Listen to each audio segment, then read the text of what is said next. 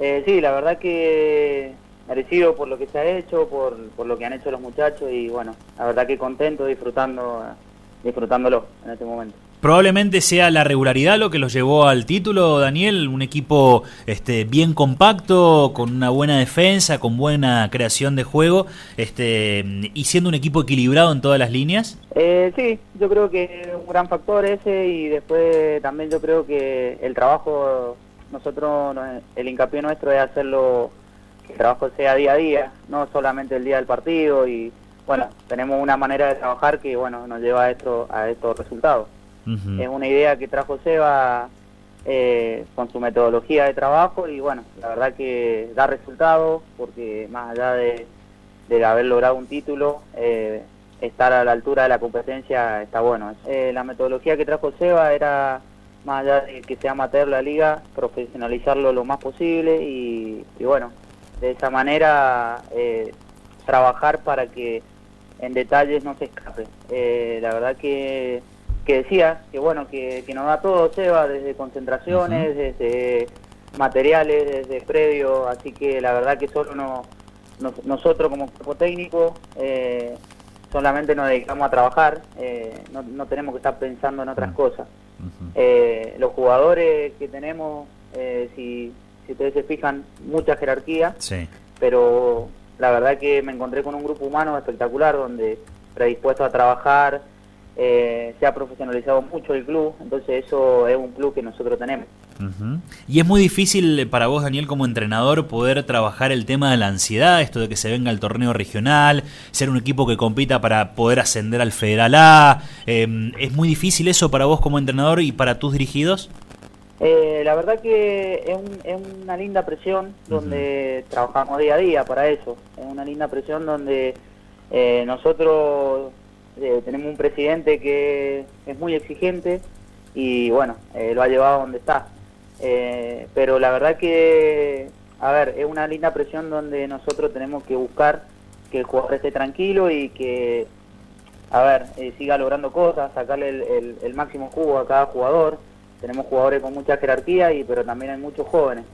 Y bueno, los de jerarquía, que son los más grandes, nos dan la posibilidad de de poder manejar a los más jóvenes. Nosotros inclusive trabajamos para eso, para que los jóvenes estén tranquilos, porque en fin, al fin y al cabo son los que más frutos nos van a dar eh, a futuro. Eh, los de jerarquía nos ayudan mucho con eso, así que es un plantel muy bien equilibrado. Y si bien dista todavía para que arranque el torneo regional amateur, ¿ya tenés o pasa por tu cabeza la intención de tener, o al menos el club, un equipo bien competitivo para pelear por el ascenso? Sí, sin duda, sin duda que, bueno, eh, no solamente por mi cabeza, es lo que veníamos planteando, eh, con Seba charlamos todos los días y bueno, es lo que veníamos planteando, o lo que él viene planteando para lo que viene. Ya estamos pensando en la, en la pretemporada, sin, a ver, el, primero, el primer objetivo después de este logro, tenemos un partido que finalizar de la mejor manera contra Guaymallén y después seguir entrenando y prepararnos para lo que viene. Eh, Va a ser muy duro, porque la verdad que esos torneos son muy duros, pero bueno, la idea es, armar eh, un equipo competitivo y, pelear lo más arriba posible. Me imagino que la intención es mantener la base del plantel. ¿Y qué puestos te gustaría reforzar?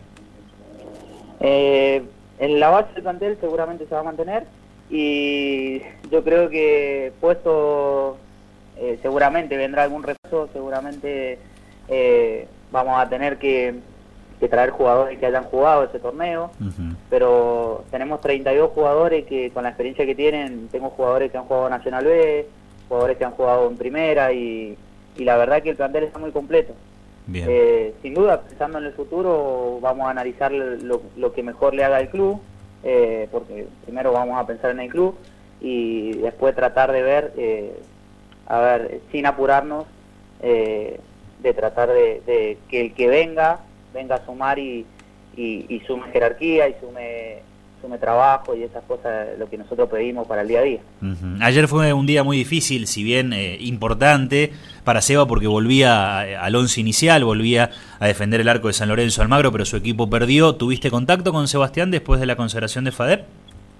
Sí, sí, sí. La verdad que, bueno, eh, un presidente muy presente, donde eh, todos los días después de cada práctica me escribe, eh, todos los días me pregunta cómo estamos, la verdad que eh, en eso es muy valorable. Y bueno, sí, después estaba muy contento él, más allá de que, o sea, aparte de que le, había le tocó la vuelta en el arco, eh, después del partido hablamos y bueno, estaba muy contento.